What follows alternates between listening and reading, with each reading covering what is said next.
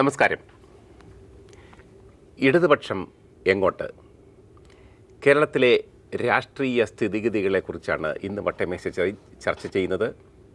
പ്രത്യേകിച്ച് C P എമ്മിലും C P ഐയിലും സംസ്ഥാന തലത്തിൽ ഒരു നേതൃമാറ്റം നടക്കുന്ന സാഹചര്യത്തിൽ.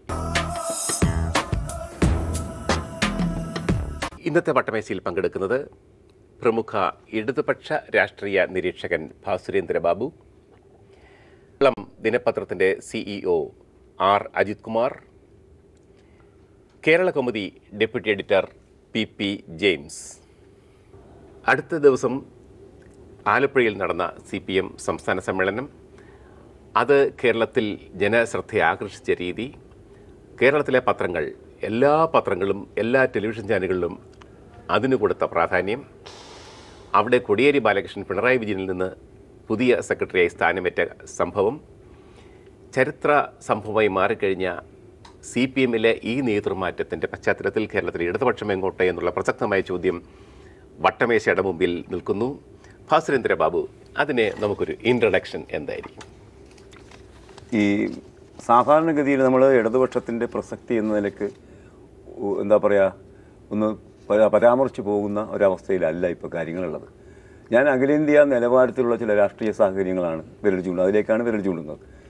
ചില കേരളത്തിൽ ഇടതുപക്ഷത്തിന് പ്രസക്തി ഉള്ളത് മാതിരി ഇന്ത്യൻ രാഷ്ട്രീയ സാഹചര്യം ഇടതുപക്ഷത്തിന് പ്രസക്തി ഇല്ല ഉള്ള പ്രസക്തികളെ നഷ്ടപ്പെട്ടുകൊണ്ടിരിക്കുകയും ചെയ്യുന്നു പക്ഷേ ആ സാഹചര്യത്തിൽ മറ്റ് റൈറ്റ് വിങ് പോളിറ്റിക്സ് ലോകോത്തരമായി തന്നെ വലതുപക്ഷ രാഷ്ട്രീയം സ്വാധീനം ചെലുത്തുന്ന ഒരു രാഷ്ട്രീയ കാലാവസ്ഥയിൽ ഇന്ത്യയിലും സംഘപരിവാരമടക്കമുള്ള റൈറ്റ് വിങ് പോളിറ്റി പോളിറ്റിക്സ് ആധിപത്യം ചെലുത്തുന്ന സാഹചര്യത്തിൽ നമ്മുടെ ഈ കൊച്ചു കേരളത്തിൽ താങ്കൾ പറഞ്ഞ എല്ലാ സവിശേഷതകളുമുള്ള കൊച്ചു കേരളത്തിന് അതിന്റെ മികവ് ഇപ്പോൾ ആർച്ചിട്ടുള്ള നേട്ടങ്ങൾ.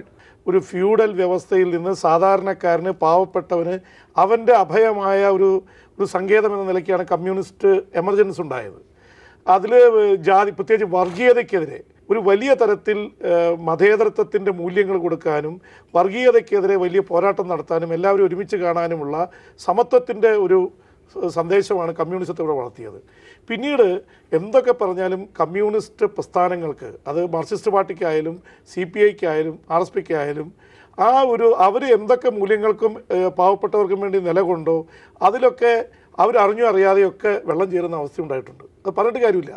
പണത്തിന്റെ മേൽക്കോയ്മ കോർപ്പറേറ്റ് ശക്തികൾ ഇടതുപക്ഷ പ്രസ്ഥാനങ്ങളുടെ മേലും നേരിട്ട് കോർപ്പറേറ്റ് പ്രസ്ഥാനങ്ങൾ ചെലുത്തി എന്ന് പറയുന്നില്ല.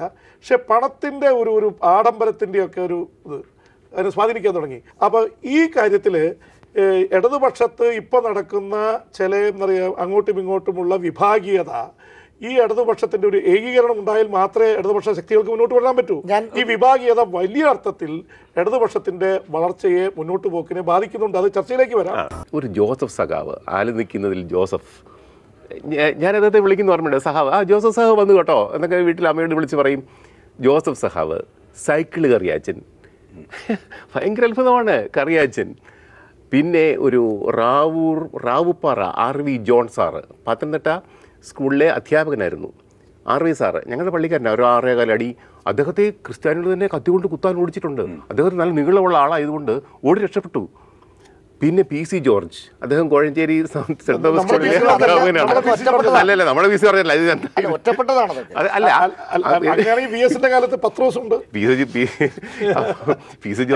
അതിനകത്ത് എനിക്ക് തോന്നുന്നു ഈ നവോത്ഥാന മൂല്യങ്ങൾ ഉൽപ്പാദിപ്പിച്ചത് സാമുദായിക സംഘടനകളാണ്. ഇവരാണ്. തൊഴിലാളികളെ സംഘടിപ്പിച്ച് ഞാൻ പറയുന്ന ആ നവോത്ഥാന മൂല്യങ്ങളുടെ അടിസ്ഥാനം മനുഷ്യൻ എന്ന കാറ്റഗറി അത് അഭിസംബോധന ചെയ്തത്. ജാതിയിൽപ്പെട്ട ആളുകളെ അല്ല മനുഷ്യരായ ആളുകളെ കാണുക എന്ന ആശയം. അപ്പോൾ ആ- നിലയ്ക്ക് അത് ഏത് വിഭാഗത്തിൽ പെട്ടോട്ടെ? ശരിക്കും അടിസ്ഥാനപരമായ നവോത്ഥാന പ്രക്രിയ കേരളത്തിൽ ഇന്ത്യയിൽ കേരളത്തിൽ നടന്നത് ഹിന്ദുക്കളുടെ ഇടയിലാണ്. ഹിന്ദുക്കളുടെ ഇടയ്ക്ക് അതിലൂടെ ആ മൂല്യം രൂപപ്പെട്ടപ്പോൾ മനുഷ്യൻ എന്ന മൂല്യം രൂപപ്പെട്ട് വന്ന സാഹചര്യത്തിൽ എല്ലാ മതങ്ങളിലേക്കും അത് പടർന്നു പിടിച്ചിട്ടുണ്ട്. ആ മനുഷ്യ സങ്കല്പം ഉയർത്തിപ്പിടിച്ച ആളുകൾ എല്ലാ മതങ്ങളിലുമുണ്ട്. ഇടതുപക്ഷ രാഷ്ട്രീയം നേരത്തെ പറഞ്ഞ ഭൂപ്രഭു അതിനൊക്കെ എതിരെ റിവോൾട്ട് നടത്തിയ വന്ന റിബൽ രാഷ്ട്രീയമാണ്. അപ്പോൾ കക്കൂസില്ലാതെ ആളുകൾ ജീവിക്കുന്നു ഇന്ത്യയിൽ അവർ തിരിച്ചറിയും. കാര്യം നമുക്ക് അങ്ങനെ പരിശീലനമേ ഇല്ല അതൊക്കെ നമ്മൾ താണ്ടി. പ്രാഥമിക ആവശ്യങ്ങൾ താണ്ടുകയും അടുത്ത ഘട്ടത്തിലേക്ക് എത്തി എത്താതിരിക്കുകയും ചെയ്യുന്ന ഒരു അന്തരാള ഘട്ടത്തിലാണ് ഇടതുപക്ഷം ഇവിടെ നിൽക്കുന്നത്.